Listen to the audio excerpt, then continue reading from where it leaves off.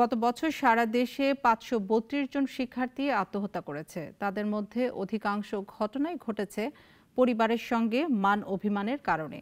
এই তথ্য জানিয়েছে আচল ফাউন্ডেশন। আত্মহত্যা নিয়ে কাজ করার সংস্থাটির এক সমীক্ষায় এই বিষয়টি উঠে এসেছে। আব্দুল্লাহ শাফির প্রতিবেদন। আচল ফাউন্ডেশন একটি স্বেচ্ছাসেবী সংগঠন। ভার্চুয়াল সংবাদ সম্মেলনে বলা হয় দেশের দেড় শতাধিক জাতীয় ও স্থানীয় পত্রিকা এবং অনলাইন পোর্টাল থেকে শিক্ষার্থীদের আত্মহননের তথ্য সংগ্রহ করে আচল ফাউন্ডেশন।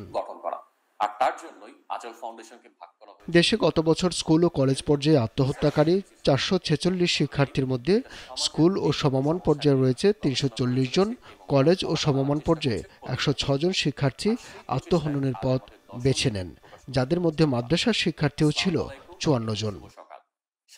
সকাল ও কলেজ পর্যায়ে আত্মহত্যাকারী শিক্ষার্থীদের মধ্যে দুশো পঁচাশি জন ছাত্রী এবং একশো একষট্টি জন ছাত্র রয়েছে। আর বিশ্ববিদ্যালয়ের অন্তত ছিয়াশি জন শিক্ষার্থী আত্মহত্যা করেছে বলে জানায় সমীক্ষা।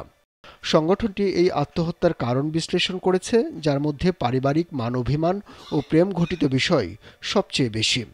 মান অভিমান তাদেরকে সবচেয়ে বেশি আত্মহত্যা প্রবণ করে তোলে। সাতাশ দশমিক তিন ছয় শতাংশ স্কুল ও কলেজ শিক্ষার্থী আত্মহত্যা করেছেন অভিমানের কারণে। গড়ে প্রায় সাঁত্রিশ জন স্কুল এবং কলেজগামী শিক্ষার্থী আত্মহননের দিকে এগিয়ে গেছেন।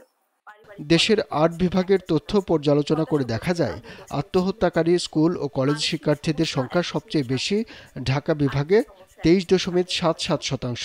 এরপর রয়েছে চট্টগ্রাম বিভাগে সতেরো দশমিক দুই সাত শতাংশ এবং রাজশাহী বিভাগে ষোলো দশমিক আট এক শতাংশ। আত্মহত্যার পেছনে দায়ী কারণ জানা আবদুল্লাহ সাফি নাগরিক ঢাকা।